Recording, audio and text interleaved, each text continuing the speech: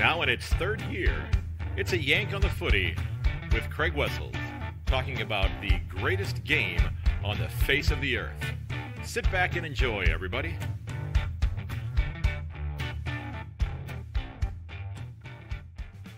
Hello, everyone, and welcome to episode 197 of A Yank on the Footy.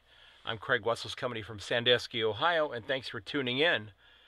Uh, in this episode, we conclude my recent discussion with Barry Cheatley, the former marketing manager of the North Melbourne Kangaroos, who helped to revolutionize fundraising in the game of footy. If you haven't listened to episode 196, you're going to want to go back and listen to that one first because we left that one with a cliffhanger. We're going to pick up the cliffhanger here at the start of episode 197. Now, it's not really a cliffhanger, just, it was just a very convenient spot to go ahead and uh, split the episode into two parts. Now, folks, again, don't forget that if you're wanting to get your local footy club getting a shout out, shoot me a note uh, by an email, uh, yankonthefooty at gmail.com or at yank underscore on on Twitter, yank on the footy podcast, or over on Instagram as well. Uh, let me know because I love being able to give shout outs to local clubs. And uh, if you would be uh, somebody who would be a wonderful guest on the podcast as well, drop me your name uh, in an email or sign up on the register as a guest form over on my website, yankonthefooty.com. Hopefully, you'll also consider uh, getting on the email list there. And if you've been enjoying the podcast, would love it if you could take a couple of moments and leave a review for the show. Really helps to generate uh, new interest. Um, and I can't thank you enough if you have done that or if you're considering doing that. I hope you will do so. One other thing before we dive back in uh, if you've not had a chance to listen to episode 186, I do hope you'll go back and give that a listen. Uh, we're doing a little project uh, for my mom who's going to be turning 80 here very soon. And uh, we're trying to get uh, folks, as many people from around the world, uh, to send her birthday cards that have some sort of a little image, whether it's a photograph or a postcard or a little anecdote about something that brings them joy.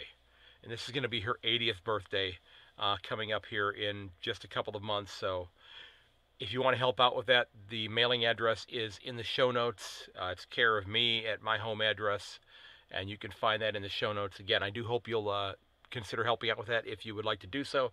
So let's go ahead and dive right into my uh, discussion with Barry Cheatley, and this is part two of that. Enjoy.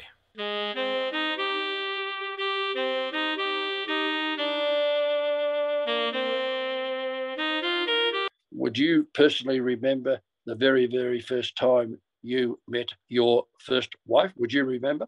You you where you a, were? You have put me in a really bad position because okay. I uh, I've been married twice. Okay. Oh, okay. Uh, so uh, the first one, I, I, remember where I met both of them. I'd like to okay. Forget, I'd like to forget where I met the first one, uh, uh, uh but quite frankly, um, you know that's uh, that yeah. that that's one where I had somebody, you know, had I been familiar with the game of cricket, I would have. I, I wish somebody would have just, you know, hit me in the back of the head with the cricket. Oh, okay. Let's do that instead. Um, but no, actually, my my first wife and I, we actually met online on the oh, computer. Oh, okay. You know, she we lived hundreds of miles apart at the time, actually. Yeah. And that was, you know, that was over several years, you know, of of you know, so that's something I've never said on the podcast before. So now I'm going to get a, I'm going to get a lot of interesting feedback on that. Okay, well, well, yeah. well that can happen Of course, that happened because because back in my earlier days there was no such thing as being online. Right, we didn't have right. any computers. In fact, right. I just I just I won't use it, but I just was going through some of the things I keep, uh, usually of a humorous nature, and and uh, and and there's an article, well, not an article, a whole series of stuff, but where they were talking to Grandpa, and, and Grandpa was mentioning back when he in his earlier days, we're now talking back, you know, maybe 60, 70 years ago, and he was saying all the things that we didn't have, that he didn't have as when he was younger, that are available today, and it's outstanding. One of these days, I'll send it across to you. I'll get I'll get copied and and, and send it to you okay. because it'd be interesting on you. And and I would say that all the things on it would be applicable, or as you Americans say, applicable um, to anyone in America, because you know there was just so many things that we've forgotten about that were oh, yeah. that were not even in. When I say they weren't invented, they weren't used compared to today. And one Right, of the right. things you just mentioned is the online bit. I mean, uh, uh, I suppose people would have met online back then had they had the facilities, the Yeah. the the the the, the, uh, the whatever it is we're The, talking the about. uh, technology for it, yeah. the te- that's, what, that's the word I'm thinking about, the technology uh, uh, to do so. So, yes, there are a tremendous number of people who met online. Uh, probably one of the, more so in the country towns, I think, uh, than the city. But uh, yeah, a lot of people say they met at a, at a, at a bar, you know, at a, Uh-huh, at a right, hotel, right. uh, etc. True, could be a sporting event. There's a whole range, but uh, yeah, but dances were very uh, popular, course, where you went and uh, you know, and I don't know what happened in America in those days, but uh, but uh, in our particular Saturday night dances in the country towns, you'd go along usually on the Saturday night, and the ladies would be on one side of the hall and Yep. the men on the other, and the music would start with. We'll shorten the whole thing down. The music would start, and they introduce what sort of dance it was, etc. Take your partners. Uh, so you go across. And my mum taught me uh, to go across, and if you saw a lady that was that was attracted to you, you'd go across, and you were taught. To, I was taught to say, "May I have this dance? May I have the pleasure of this dance?" Now, some people would go across and say, are you," would you? but I mean, you did it properly. So then you would have a dance, and uh, and then you, you'd read, and the lady, you generally speaking, would return to that the, the spot where she was on that side of the hall, say to the band. But then, in most cases, uh, that's they they might have met as under that, and then uh, Right, uh, married, etc., or gone out somewhere else. or, complete know, sense. and then, Yep. and of course, the next question was, well, may I have another dance later? And oh, yes, that, that would trigger some. And then, of course, the inevitable question would ask, and I'm not, I'm not uh, saying anything that would be not new to your listeners. And then you would say, um, or may I take you home? Or may you know, and Yeah, uh, yeah. oh, yeah, it was a yes or no. Some would say, thank you, just thank you very much. The um, but no, I've already been uh, catered for, or alternatively, uh, you know, a nice no. Oh, well, worth asking, etc. But in many cases, uh, it did. Uh, you might, yes, by all means. And I think that I- was the whole idea. Yeah, I think my, you know my my mom will be 80 a little bit later on this year. okay. Um, well, she'll I- remember I- those things. yeah, I I think I think you know here they referred to that as going to the sub to watch the submarine races. Okay. Yeah. So yeah, Uh, So, yeah, I- well, I, I wanted to get to a couple things uh, with go. regards to like promotions and such. And I just and I don't know if you've ever heard of these or not. You know, having been in the position that you were in, are you Yep. familiar with Are you familiar with the name Bill Beck? Bill Beck, B E C K. V E E V like V is in Victor. V E E C K. He he he was a he owned uh, uh he owned the Cleveland Indians for uh, for one for Yeah, a period no, of time, and then no, he owned the that, Chicago White Sox. But he was No, he was a he was a he did a lot of promotions and gimmicky things, and and it's just you know because you you know you know your your daughter had mentioned the, the disco nights at, at Arden Street, but he has done he did something back in 1979 called and I'm going to send you a clip to this uh, called Okay. Disco Disco Demolition Night, where they basically they gave people um, like cheap tickets to come to the baseball game if they brought a disco record that they were going to play two games that day. So you know, in between the two games, they were going to put together Yep. put all these disco records into a big bin and blow Right. them up in, in center field of the of the field, and it turned out to be this big riot during the course of the game. Oh. This, and the second game never got played. And then the oh, yeah, and the team that I that I have supported, the Cleveland Indians, back in 1974, and I remember this. I was 11 at the time. Uh, they had they had a 10 cent beer night, so they they basically sold they were selling beers to the fans for 10 cents a piece. What could go wrong with that? Uh, well, they darn near destroyed the stadium. Uh, quite frankly. oh. So, um, you know, you're Simone mentioned that you, you also were, you know, hosting players at your home. Yeah, that Yeah. was. Yeah, That's- all she's been. uh, She's been very thorough.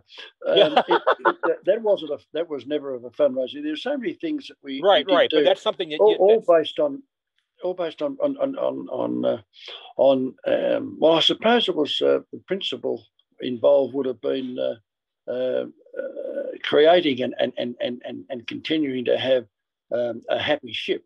Mhm. Um, and there's a there's a little saying goes with the two. So yes, we lived um, not today, but we lived um, for 35 years in a lovely old home, which was uh, a stone's throw, so to speak, from uh, uh, a ground where Essendon are very much in the news nowadays p- played. Uh, they may even be returning there. It's called Windy Hill. Mm-hmm. And uh, when we played there as an away team, a visiting team, uh, yes, we would invite. Uh, um, we had a rather large backyard, and I had a barbecue designed large enough to be able to cater for them. So not only do we invite the players back, but their partners, wives, uh, all our honorary staff, uh, our committee, board members, etc., etc. So there'd be probably 150 people uh, wow. come back, and and um, but it was all part of. Um, running a happy ship and, and getting mm-hmm. to people. And people still want to say that we didn't do it for that reason, but but uh, some of the people, well, not some, all all of the people that played when I was there, some of whom uh, we still keep in close contact with. If we go interstate to either Adelaide or to Perth, for example, we, we, we generally speaking stay with them uh, okay. because we got to know we had some players uh, actually live with us uh, for a, well, well, one couple uh, in this particular case before their home was built, and we still retain that friendship. And uh, yeah, it was all. Uh, there are two very. Uh, I think it's worth mentioning that I, I often talk about them, and this one. Uh, I wish I wish our, our government over here and other organisations too, and I, I, I, I gained it from my time with the American Insurance Company, and I, must, I think it was Napoleon Hill, a guy called Napoleon Hill. He came home with it, and it's called Craig uh, the Mastermind Alliance. And when you say that uh, to people, they say, "Oh, you know, I was talking to this bloke chick the other day, and he talked about it." But when he explained, you know, he talked about this Mastermind Alliance, this highfalutin uh, terminology, two words. But when he explained in one sentence what it was, he said, "Gee, we all understood." What he meant, and this is not my saying; it's uh, based on a particular fellow, Napoleon Hill, who, who was encouraged by the late and great Andrew Carnegie, that's your man, mm-hmm. at the turn of the last century, not this one, right, uh, who had been recognised as, as a philanthropist as giving away 450 American, 450 million American dollars. That was in 1900. It's recorded. So right, God right. only knows what 450 American million dollars is today. But and he asked this fellow, he he said there was no money involved, but he asked this fellow to go and talk to many of the then successful people. Interesting, you mentioned Ford earlier. Henry Ford was one of them, Kaiser Stuhl, the Vanderbilts, etc., and to see what business principles they might all apply. They, they did apply to become successful. To make a long story short, he came up with 17. They're not necessarily in order, but the first one being setting an objective, he calls it a definiteness of purpose, definiteness of purpose. But the second one is master minds, and here it is in a sentence: two minds working in perfect harmony towards the attainment of a common objective. Mm-hmm. I'll repeat it two minds working in perfect harmony towards the attainment of a common objective. Well, I wish our governments here, and your government too, and the wouldn't wouldn't apply that principle because it's just so uh, true. So this was all part and partial uh, of that, where it's all many. That doesn't mean to say that you don't have your discussions, your your objections, your dis, your, your arguments within four walls. But that's in a think tank, etc., etc. But uh, but then you work in perfect harmony. So it's a very it's a great business uh, principle. I wish so many people would would apply that. The other one has got nothing to do with that, but the other one that I talk about a lot, and I think it'll be applicable to your your over anywhere, and that is uh, is where uh, uh, every living organism grows to maturity, levels off, and dies unless it is injected with new life, new blood, and new enthusiasm. I've used the expression new because that's what you people say over there. We say new. So, and it's so true. And that's why a lot of uh, organisations do fade away because they don't apply that same principle etc., uh, etc. Et so there's that's why there's lots of changes and things. And there's always going to be uh, changes. But having said all that, yeah. So that was all part and partial, Craig, I suppose. And when I say that, I still talk about we didn't do it for that reason, but we actually, but it wasn't. It, it, we actually enjoyed it, and it was just, I suppose, to use another expression, it was it was just as confirming, cementing a firmer relationship between all of us to have a happy family, uh, right. to to be all pulling in the same direction, uh, to to have the same objective, uh, and that was to be successful. Hopefully, to win in those days a premiership. Wanting to keep a happy ship, and and uh, and that's that is the role uh, today of the senior people, the head mm-hmm. man, the number one up the top. Surely that that together with a lot of help and assistance, surely uh, the board of directors, that's their job to run a very to be successful. You have to have run a happy ship. I, I completely agree. I, I've been a school teacher for now for 29 years, so I, I yeah. there's a lot of parallels with that with what you're saying there in terms of the success with students as well. Now, yes. I, I wanted to get into a little bit of the, the present day with with the Roos here before we wrap up. I've got a, a few okay. more questions Thanks. for you. Um, they're looking for they're looking for a coach. Uh, yes. Do you believe that Alastair Clarkson is going to end up in the blue and white? Or is well, it's a very, very good question since it's Wednesday across here now, and the date is um, just that we're uh, to the date here. It's it's uh, it's around about 11 a.m.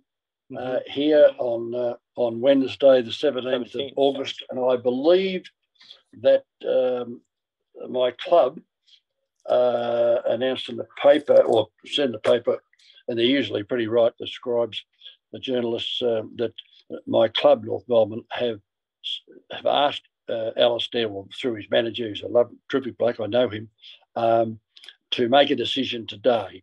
Uh, will he accept uh, the offer that uh, my club has made to him, uh, which is for five years, and etc. etc. Uh, so they'd like to know today because coming into the seed, I think it's been declared that he's decided not to go and coach um, the Greater Western Sydney, uh, mm-hmm. but uh, now he's uh, perhaps has been interviewed and talked to to Essendon, who um, the club I've just referred to earlier, um, where uh, things are very a lot of things have happened there. So I, I got a feeling that today uh, it will be. I've got no idea. In answer to your question, by the way, I don't know. Okay. Uh, for it all, and so, but I think today, uh, hopefully, uh, today a decision will be made by he, he and or his management to say what he is doing. So I guess the answer will be yes, I'll be coaching Essendon. Uh, yes, I'll be and or yes, I'll be coaching North Melbourne, or I haven't made up my mind, mm-hmm. uh, so I'm leaving it open. It'll have to be one of the, the, the three things. As you know, Alastair himself um, played with us. Uh, then he did go and play with uh, Hawthorn. He's been very successful, and one of the reasons for that is that I can remember many years ago he he took himself at his own cost and generally, not necessarily only to America, but he went and spent time by appointment with a lot of uh, leading coaches and other people in all different sports. I mm-hmm. must say it was mainly the NFL, but he went to learn the principles involved in all of that, you know, knowing full well that that was a path which he may t- consider to take uh, later on. And, uh, and uh, he's a very astute uh, person, but he was prepared to go and and uh, do the old look, listen, and learn the three L's. They go and look, listen to the people. Um, I don't know who he got to talk to over the time, but I do know for a fact that that's what he was doing, um, just to increase his own knowledge in many, many areas. And he went to other countries too and uh, spent some time with the then successful people, just like uh, uh, Mr. Carnegie asked this Napoleon Hill to go and talk to the successful business person, persons. And it was just interesting, um, you know, how he's. So it isn't it isn't coincidental that he just happens to have blah, blah, blah, done this and done that. He spent a lot of uh, time. So, um, yes, I'm not, uh, I keep an open mind on the whole okay. thing. And my, well, my short answer to it is that um, I leave, we leave, people like myself leave that that decision to the, the, the current custodians of our club, our chairman, who president, who's a lady and uh, a very mm-hmm. switched on person and a, a general manager, uh, CEO, chief executive officer, uh, to leave it to them. Um, I think they've they've done their due diligence and uh, homework on uh, discovering who was available. So hopefully we'll know that decision, Craig, right, right, today. Soon. Today, well, yeah, and it's uh, and you know, and, and I I saw footage of, uh, and I don't remember what year it was. It was during one of the grand finals, you know, and it was, you know, a shot of, of him up in the in the coach's box, and Right. There, you know, he's there as a senior coach, and he's he's flanked on one side by Chris Fagan and the other side by Damien Hardwick, who were yes. both coaching. You know, his yes. assistants at that time. So he has, you know, he has got one heck of a coaching tree, if you will, oh, yeah. from where other yeah. you know other coaches are, are growing from. So, you know, you know, I and I and I I yeah. hate to bring this up because I, I I'm sure it's going to be a, a sore subject with you, but you know there there's talk about the 19th license with the team in Tasmania, and you know yeah. Tasmania says they want their own team, and and then you hear people in the, in the media there who are saying, well, maybe we should just move an existing club there. Yeah. yeah and yeah. the one that gets brought up is one that is near and dear to you. Yeah. It's, well, uh, you've you've you've done a lot of home. Uh, I commend you for uh, doing a lot of research and, uh, and get becoming knowledgeable on our situation. I, I love uh, your I love your game. Yeah, well, in many things that you've done, you've done some uh, good research. Yeah, um, yeah, um, yes. The uh, I was only reminded by reading the article in the last couple of days in our uh, in our papers here in the state in Melbourne, the number of coach current current coaches, as opposed to a couple of former coaches who have worked with Alastair in that uh, in that area. Uh, mm-hmm. you mentioned a couple, and uh, there's there's a goodly number of them. So therefore, it isn't coincidental that he he's got to know he's been very successful and uh, becomes highly recommended and is well well thought of in the coaching area. In relation to the 19th team, um, people like myself um, I think they'd all agree. We believe, whilst it's small in uh, population and in size, um, the number of players over a great period of time that originally were born and bred uh, from Tasmania, there's just so many of them. Right, uh, right. Admittedly, over a period of time, but pro rata of their population. Um, uh, people like myself believe that they should have a team, no, not one that's relocated. If it means an odd number, a 19th team, that can be overcome. And I personally trust, hope that the that the, all the other little not obstacles, but the uh, will uh, will be overcome in a positive way, and that Tasmania will have in the near future their own uh, uh, team. And yeah. that would I, I, say that because. Um, and with the, the full support, hopefully, of the Australian Football League. After all, uh, the Swans probably isn't a, the Sydney Swans isn't a good example because they did they were South Melbourne. They South went Melbourne, there as yep. with Fitzroy with the Brisbane Lions. But the introduction of the Gold Coast uh, Suns and the Greater Westy, the Greater Western Sydney side uh, in there in two states, which is predominantly what we uh, refer to as rugby, rugby league and rugby union for obvious reasons. So, but that's been uh, terrific, and uh, I I think most people, certainly those of my era, would be would be very hopeful that Tasmania, and yes, like anything else, it's going to take a little while mm-hmm. to build, and we're rebuilding at the moment, and other teams are doing the same thing. So, and with the help of you know, as they have done with um, with Greater Western Sydney and the Gold Coast, where they have what they call drafting concessions, and the league right, make decisions right. where where they have first right of something to get started, and uh, and and anyone that doesn't go, any other clubs uh, that don't go along with that, well, they should be thankful uh, for what it, and it's all, it goes back, hopefully when decisions are made by common, mostly common sense, obviously, when decisions are made like that, uh, you know, the old two minds working in perfect harmony, uh, decisions made, well, once it's made, get with it, be positive, because looking to the future, uh, that's the way it's going to be. Okay, I've got a couple more things before we wrap yep. up here. Um, Go on you know, with your with your background in marketing and promoting the Roos, uh, and I'd love to ask this question of, of, of people in Australia. You know, we have a a, a small but growing um, group of fans here in the U.S. I mean, there we have what's known as the USAFL, which has been around for 25 years. There's over there's over 50 teams playing in that league here in the United States. Is there um, really? There really is, yeah. Yeah, there's oh. they're all you know they're all playing for free. It's all it's all like club team stuff, but it's uh fantastic. Yeah, yeah it's been but you know, we have a population of 330 million people here in the US. Yes. If yes. if we could figure out a way to get even 1% of that population yeah, yeah interested yeah. in footy and following the game, that's 10% of Australia's population. Yeah, and think about the revenue that could come in from that. I mean, what can yeah. you know? What you know, think about? You know, the, the you know, you see NBA jerseys, you see NFL jerseys. I'm sure when you're out and about, you know, in your community, you've got young people that are wearing, you know, LeBron James jerseys or Michael Jordan, you know, yeah. um, jerseys or whatever the case may be. What what can we do here? What could the AFL do here to to to help to harness this excitement or to try to encourage you know more excitement? Because we get three or four games a week on like our regular cable television here. Now I have the the Watch AFL app, and a lot of us do that. We get you know we get all of the the games and all of the stuff from Fox Footy, so I can watch the games live or I can watch them on demand.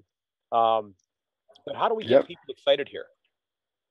Well, that's a very, gee, it's a very good question, uh, and to answer it when I say on the spot, um, I would, uh, my immediate, uh, uh, I say reaction, my immediate thought would be that uh, whether it's uh, some people from here going to America or vice versa, uh, my my my suggestion would be um, to uh, have a get together um, in either place.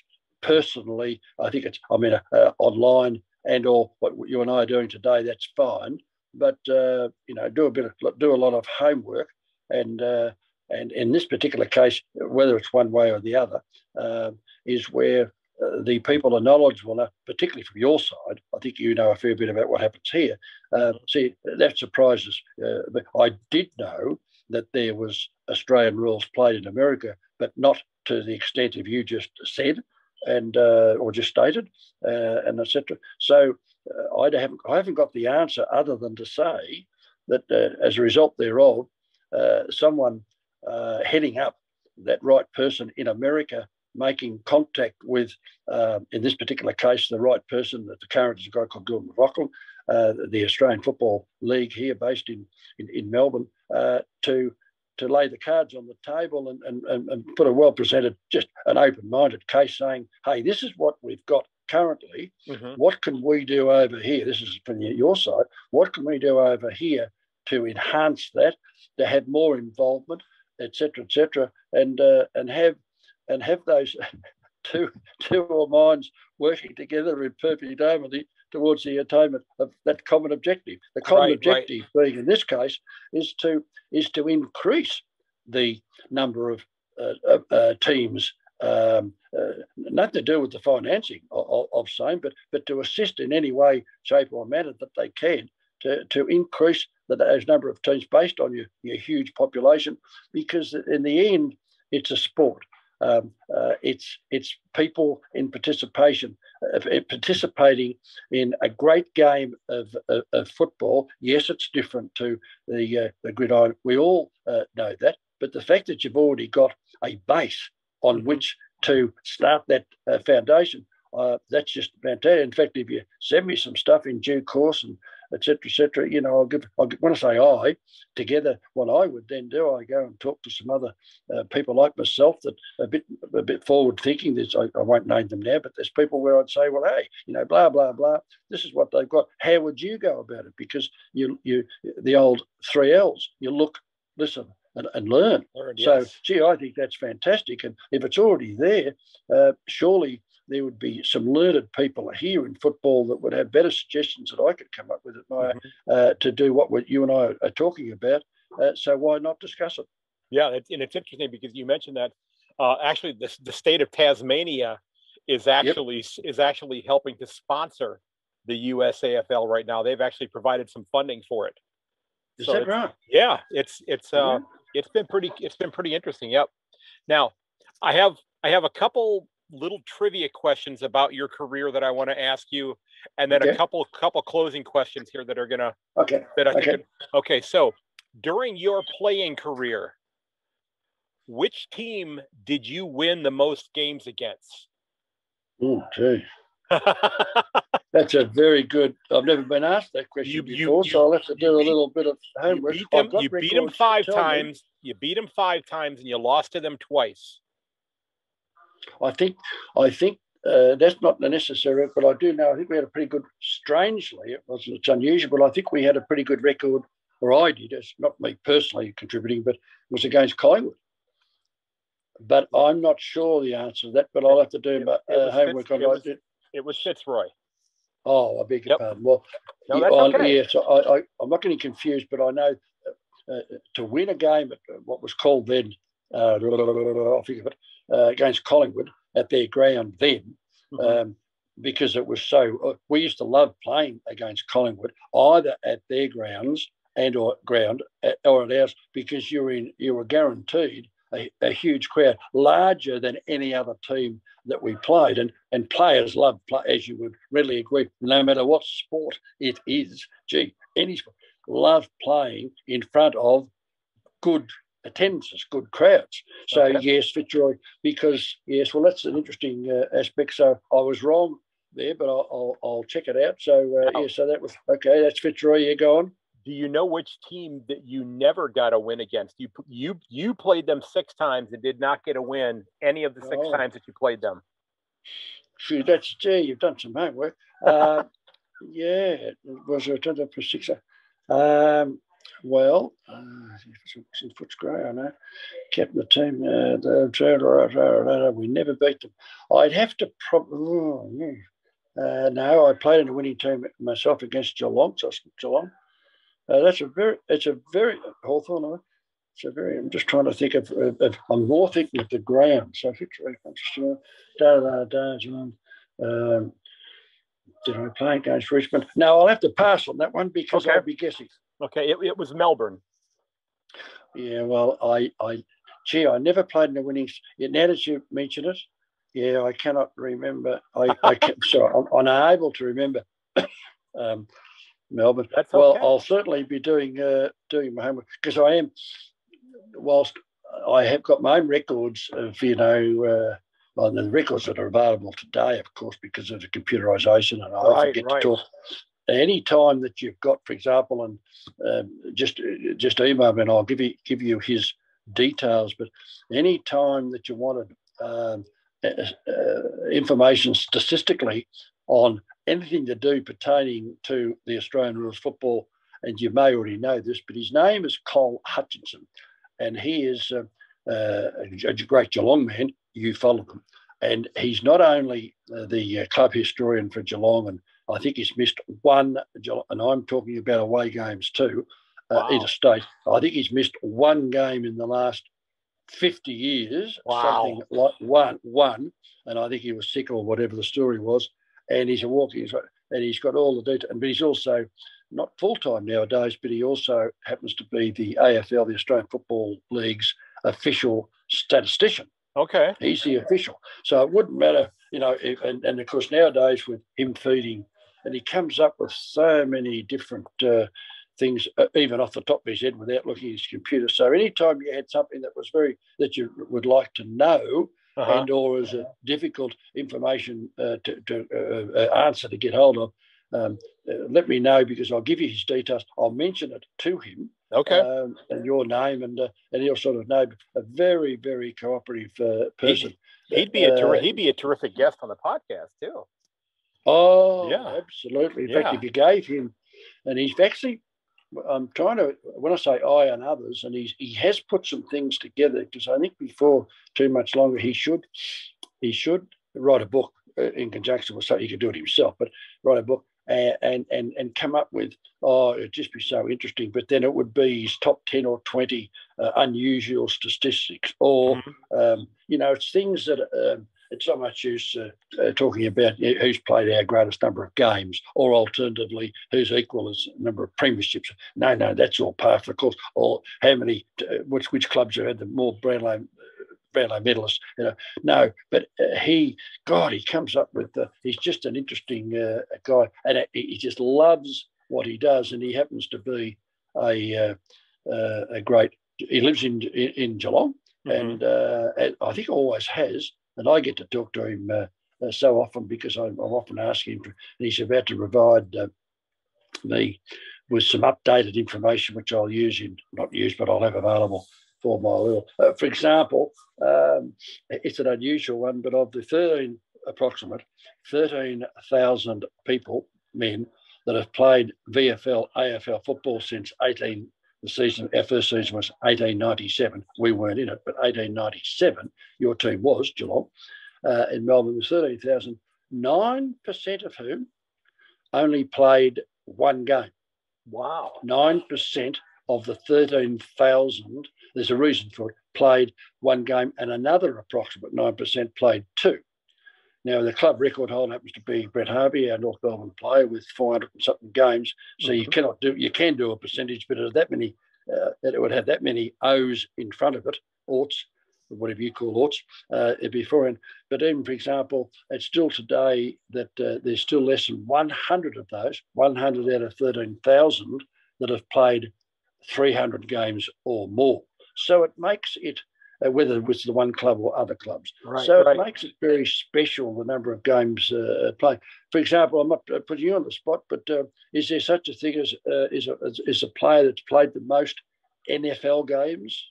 Whether he's with uh, he transferred from the um, from um, from San Francisco Oakland Road to to is there someone that stands up having played the most NFL games? I think it's I think it might be it might be somebody by the name of Morten Morten Andersen, who was a oh, okay. he was he was a kicker. Interestingly okay. enough, and I I know oh. he kicked a lot for New Orleans because the kickers oh. have last they tend to last a lot longer. Um, yes, because they, they're not on the field. They're not on yeah, the field. You know, Tom, Tom Brady is what 45, 46 years old yep. now. He's still playing at a very high level. Yeah. So, um, would you would you differentiate? I, I know that the the answer is well, did he play? Yes, he's on the team. But would you differentiate between, say, a kicker uh, who is on and off the field uh, very much so, as opposed to a Brady who's on the field when they're playing either offensive or deep, whatever the story is? Would you, know, you differentiate people, there? I probably would not, simply because of yeah, the, the the simple fact that they had to, they still had to be very successful at what they were doing because there was always okay. going to be somebody who was younger that might be able to come and take their job from them. Um, well, it's a very good point you make. Uh, yeah. So they're in the team. Uh, I just found my little note as I write little things down, but there's no, you're like, you probably heard it before. There is no I in the letter alphabet in team, T A M, but there is a me. yep, absolutely. Absolutely. So the answer to that is that, uh, well, not the answer, but yes, you, are quite right. Uh, did uh, did that player, the kicker we're talking about, uh, did he is he registered as when he played a game? He went on the field, uh, not when he sat in the stands naturally, but when he went on the field, whether he got the kick or he didn't that day, uh, did he play a game? Yes, he did. Well, if he did, therefore, he's count that's counted as a game. Now, how yeah. many did he play? Oh, he played, uh, I'm just he, saying, 450. Well, how many did, who's the next to him? Well, it's Brady who played 400. Well, he still played the game. So, yeah, I understand what you're saying. Yeah, he, he played 382 uh, games. Now, Tom, Tom Brady is, is the highest player on the list that was not a kicker. He's played 318. Okay, and then how many games, uh, if you played every game, uh, in a se- your season, and you including finals or including playoffs, um, how many would be the maximum in any one year, or has that changed over the years? Well, like I, I, honestly, I, I don't believe they count the playoff games in those games, unlike oh, what, okay. what, the, what, the, AFL and VFL have done. Yeah, okay. so yeah, you, the the game the season now is 17 games. It, that changed last right. year. It had been 16. Right. Um, well, yeah, yeah there's a. There's, if they only count, yeah, Craig, if they only count in that record, if they only count, they don't count the playoffs, and I understand what you're saying. Mm-hmm. Um, uh, they shouldn't would, there, but he would have a lot more. Yes, yes, yes. but if if the point that you're making there is um, to play uh, a max uh, every game, 17 a season, that's an outstanding record to have played what the number you just said for right. Brady. Would you say 300, what, 356 did you say? Three, th- he's played 318. Yeah. 318. Well, at 17 a season maximum, that's a bloody good effort. Absolutely it is. Absolutely. Yep. Okay. Two two more things from you before we wrap up. Okay. There. Okay. Okay. Uh, the first one. What is what is your proudest moment in your life? What is what is what's the thing or the event that you're most proud of? Uh, sporting wise, doesn't it does not have to be sport. It could be anything. I'm I'm just I'm curious. Yeah, it does yeah. not have to be sport. It could be. It could be. It doesn't have to be. Could be what? It it could be sport. It could be you know. It could be you know. I uh I want to give me the question. Just give yeah. me the question again. What is your proudest moment? Proudest moment my proudest match. Again, I'm, I, I know I'm, and I'm commending you at the same time, but uh, you obviously ask others. Um, no, no, no. The, the question you asked, the proudest moment. Uh, uh, generally speaking, my proudest moment. Uh, it's a, it is really a, good, a, a good question. So now I've got to differentiate whether my answer will come under family or sport. So I'm going to say to there's no doubt about my proudest moment in sport was being uh, in the off-field team, off-field team, uh, winning my club's, our club's, not my, our club's first premiership in 1975. That is by far mm-hmm. my proudest moment, sporting wise.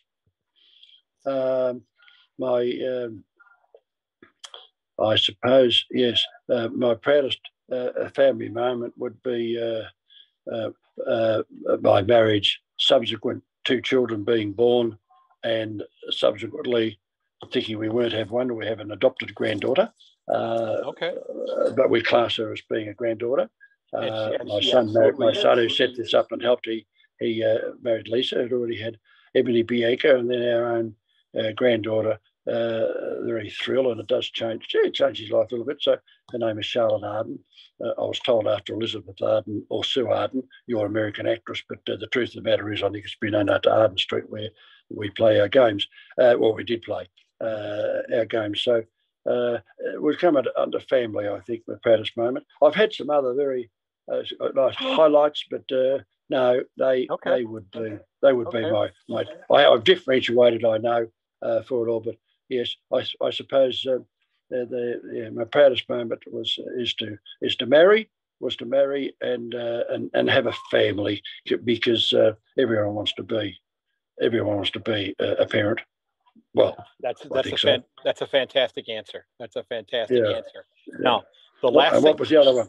The last thing I wanted to ask you before yeah. we wrap up, you you yep. have been friends with uh, Dr. Aylett for 63 years. Dr.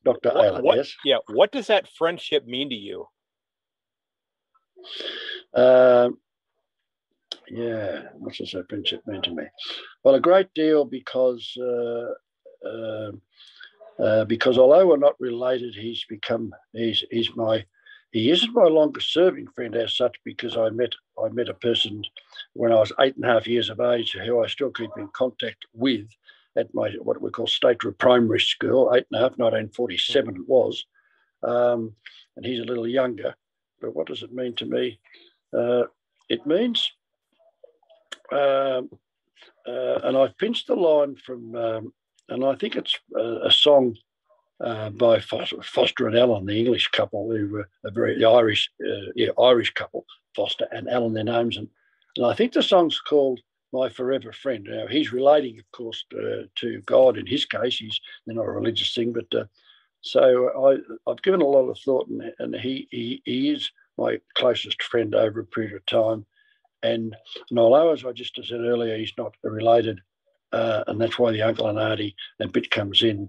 So to be able to have uh, uh, someone who I have complete faith in, and vice versa, and to have the close association as a result thereof with both families, and where the children, our children, still uh, communicate very much uh, with each other, um, very much so as a result of the friendship, and together with Marjorie, his wife, who's also a life member of our uh, football club. So I guess uh, the answer is uh, a tremendous friendship uh, with with a person who I met through football mm-hmm. and have retained that friendship through some ups and downs. We've had our challenges. Oh, I don't knock on a personal note, but uh, you know, in fact, uh, the old if bit. Um, if I hadn't, it'd be the same story. If I had not joined, oh, there's no doubt about it, if I had not joined North Melbourne and, and, and meeting Allen Aylett, I wouldn't be talking to you today, Craig. Right, right.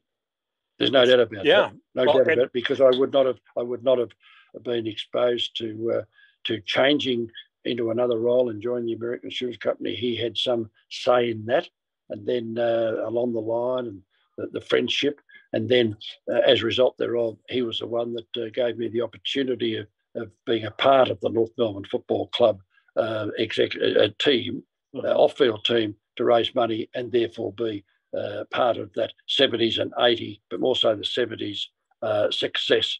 Uh, it was just uh, tremendous. So that's why I say uh, the, the highlight uh, my, of my my career, sporting wise, would be being a part of that team to win our first premiership, which I'm very of which of which I'm very proud. Yeah, it sounds as though for the the better part of a half century or more, yes, either one of you could pick up the phone and say, "Hey, I need help with this," uh, and and and a, you you would be at the other person's house in in mere minutes. Well, it's a very good. See again, it's a very good uh, comment you just made. Somebody once asked me uh, what a friend is, and if we have and if we have a, a if we have a, uh, say upwards of five, uh, I've heard this some five really good for people. Oh, I've got lots and lots of friends. They say, well, hang on, you know. So here's the analogy. Uh, so for some reason, uh, the one I was told, I like it. Say uh, you're driving home and you've, you, and you've and you you've had a bit over uh, alcohol uh, that you should have had. So they pull you over, and as a result thereof, in our case, you're over 0.05. So uh, you end up uh, spending the night in, in behind some bars, etc., etc. And they uh, give you the phone, and they allow you they allow you to make one phone call, and you and, and if they come along with the desired uh, bail, uh, you can get out of the place uh, mm-hmm. because if you yeah da da. So that so it's not much. So when the person gives you that, it's not. So he said it's not much use asking, "Can I have a phone book?" You know, in other words, can I have uh, the the book because you know the person's number. So, who do you ring at four a.m. in the morning when you say to that friend, "I'm I'm in a certain place. Uh, you need ten thousand dollars to get me out. Yeah. I'll leave it to you." And the bloke, it, that, that friend doesn't say, "Oh, turn up. It's four o'clock in the morning." or alternatively, where am I going to get ten? See, that's not a friend. Where am I going to get ten thousand? He says, I'll be there mm-hmm. as quick as I can. Now, that, that means to say, and then he sits down, he probably wouldn't even tell us, Where you going? Oh, I'm going to help a friend. What's it for? Uh, I'll let you know later on. There oh, you go. So then he sort of says, Well, this is his friend. Now, I, I, said I'd be there, and I will be. That's a true friend. So then he says, Well, yeah, I can help that. I can do the, the well, you, you have a different thing, bar, whatever you call it over there. But uh, but that's the, that's the person. He doesn't tell anybody, and he's the one that you ring. So if you've got upwards of five of those sorts of people, as using that as an analogy, mm-hmm. then that's a good definition uh, of okay. a, a, friend, I reckon. And, okay. and, and and it doesn't wave. It doesn't. It, it, it's it's the same because a friend, a friend, um, and that's why I love. Uh, I'm going to use the expression in due course. Uh, that person would be your forever friend. I absolutely, I absolutely think you're right on that. That's, uh, yeah, that's and you know, I, I think that that that's something that that today's generation and as a teacher, um, I see that that becomes more and more difficult for for kids because they're you know you can't you know our we had a little bit of a glitch with the cameras here, but I'm holding up my phone in front of the camera here. Oh, you know, the okay. kids, the kid, the kids spend I haven't so been able time, to see you since. Yeah, I touched the phone and, and I lost you, but I knew we're talking, so it wasn't Trust, important. Uh, Trust me, I've did, done you a favour by yeah. not looking at me anyway. I did. Not, I did not get any better looking. Uh, oh, did you? Have you still got me on your screen? I do not. Uh-uh. I do oh, not. Okay. I, I haven't. Did you have me? Did you have me prior to that? At the at the outset, then I did. Yep. Yeah. So yeah, we. Yeah. yeah it's I. You definitely need to you know have people to look out for. And that's something that I tell at the end of each podcast. I tell you, I tell the listeners, you know, look out for each other to reach out and you know reach out to yeah. your friends, check up on them, make sure that they're okay. You know, yeah, good, good, good, good point. Yeah, uh, yeah and that's why, yeah, I enjoy. Uh, um, I still purposely talk to some of the players that are my age, my group, uh, just to say hello to them. Uh, mm-hmm. In fact, I've introduced a little thing down. Um, I do it myself now, but and uh, we organised our, our, oldest um, uh, 50 living players, and mm-hmm. and um, yeah, and um, uh, and I arrange for some appropriate persons, people, um, to ring them, to contact them, uh, making sure they've got the number. They know each other so well on their birthday. Okay. Okay. So, and I my original idea was to have a current player uh, do it. Uh, that hasn't worked, because they have more things on their mind at the club at the moment than what, what I just suggested. Yeah. But I do arrange, and then I sit down and I say, well, who will I get? Apart from myself, who will I get to ring? So I spend a bit of time uh, thinking about who it would be. So I try and I try and once I marry the two. Uh, recently, there was one that uh, lives in and out of Ballarat, where I came from. His name's Ray Murphy, a former player, and I won't go into that whole story, but I thought, well, who will I get to call him? Well, I chose Drew Petrie, who played over 300 games with us. He's been assistant the last few years at the West Coast Eagles, and he was born and bred in Ballarat, so the right same place. So I thought, so I arranged for him to call this fellow who we'd never met before his birthday. And of course, when he said, This is Drew Petrie here, uh, Ray Murphy knew exactly who he was. He said, I believe it's your birthday today. I'm risk ringing to say happy birthday. Well, they had a great old chat. Uh, so, you know, because it's your birthday. So, yeah, it's another way of, of uh, yeah, another way of extending that friendship, that that association, that rapport, that that that uh, uh, happy family, uh, blah blah blah bit, and reminding everybody that yeah, friends are friends. Mm. There you go. There you go. Well, Barry, this has been an absolute delight, sir. I have okay. truly enjoyed speaking with you. Uh, I I hope you've had some fun.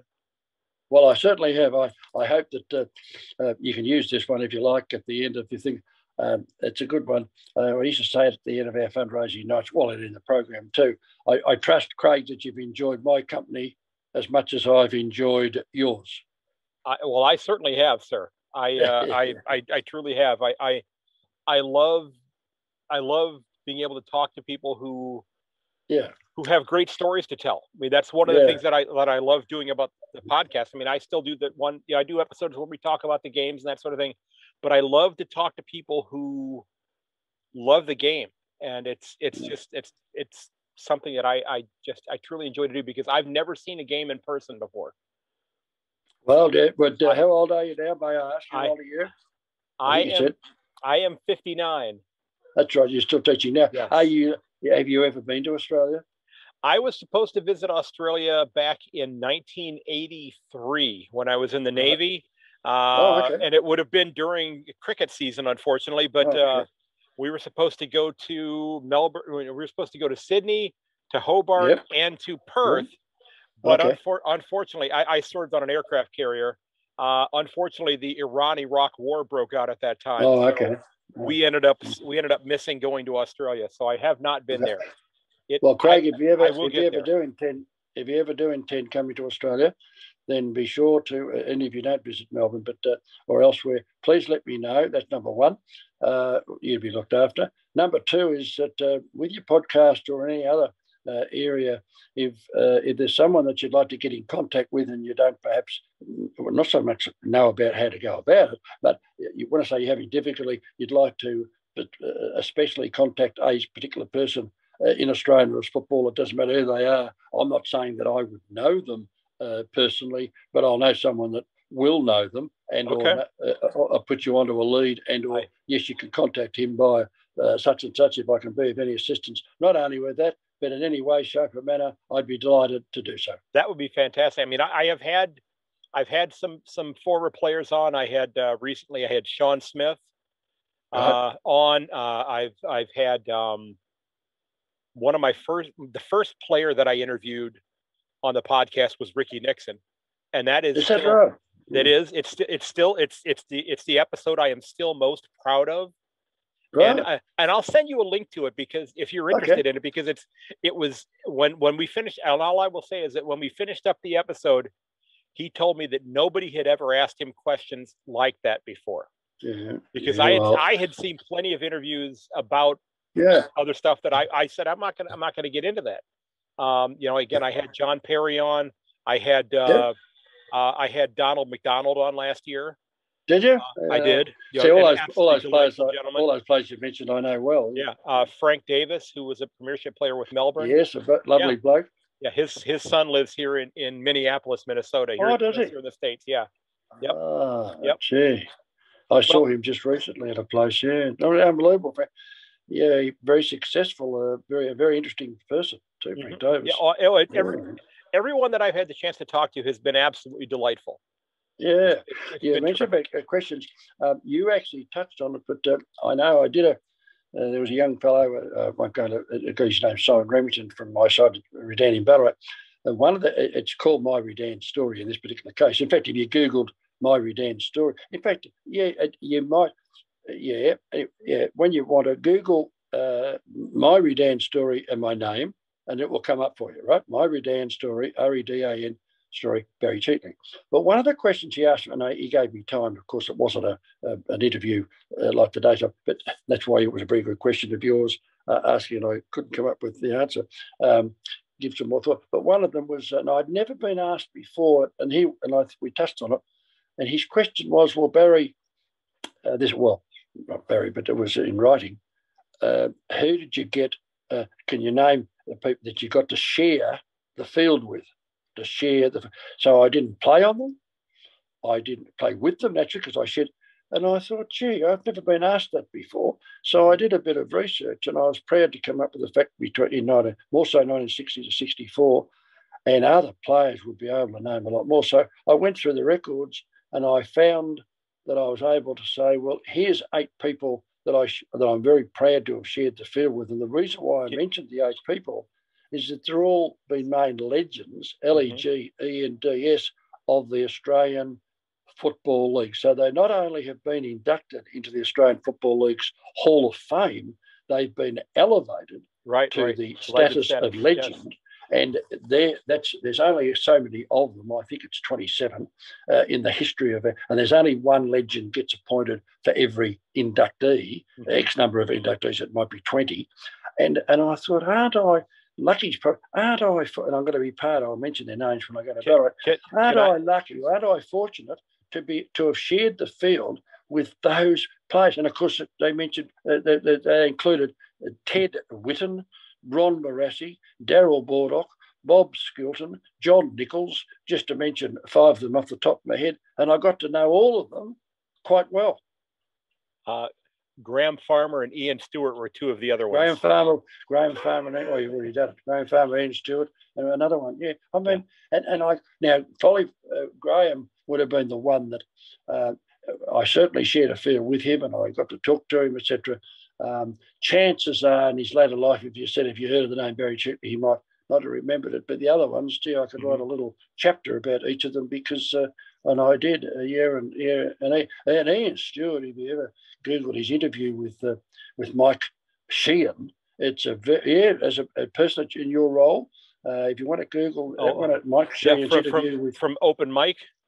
Yes, from Open Mike. Yep, I thought it was one of his um, Ian Stewart. I thought it was one of one of Mike Sheehan's best interviews. Mm-hmm.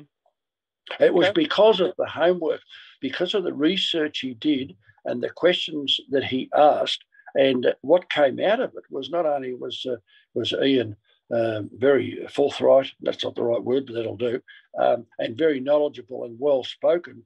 Uh, oh, it was just an excellent interview, a, an excellent interview. Okay. Thank you for your time. Thank and, uh, you very much, you know, sir. And again, Barry, I cannot thank you enough, sir, for uh, taking a couple of hours out of your morning to sit down and chat a couple of weeks ago. This was absolutely delightful. Uh, a lot of laughs, and and and I, I although we've not met in person, I, I, can honestly say, sir, I believe you are an extraordinarily decent man, and uh, I hope someday to get the opportunity to shake hands with you, sir um, because you seem like a, a, just a true gentleman, and I hope that that's uh, able to happen. So, folks, again, remember you can find everything related to the podcast over at my website at yankonthefooty.com. You can find links to all my socials Twitter, Instagram, Facebook, LinkedIn as well. Again, if you got an idea for a guest from the podcast, shoot me a note. Get on the emailing list so when a new episode comes out, it is in your email as soon as it is available. And uh, if you want to leave a review, that would be fantastic as well. And folks, look out for one another. Make sure everybody is uh, is doing well. Let them know you care. Tell them you love them. Reach out. Go out and get a coffee. Bring them a coffee. Bring them a pie. I'd love to have a, a meat pie. I've never had one yet. Hopefully someday though. And uh, folks, like I said, just take care of each other. And uh, I'll be sitting down Wednesday with Mick Aussie to go through the uh, the tips for the first round of finals this week. The four games there. We got several things to be talking about there as well. The first week of the AFLW, pretty exciting week. Uh, I got to watch I think four of the games so far. But ladies and gentlemen, as always, may your dribble kick never hit that post. I will catch you later.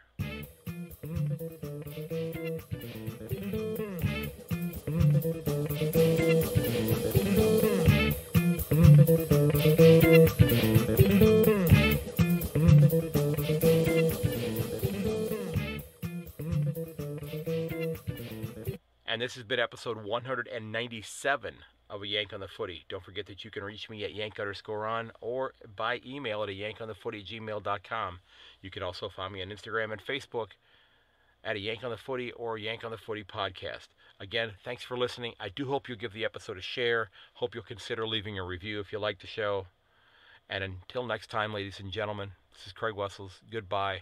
And Barry, thanks again, sir.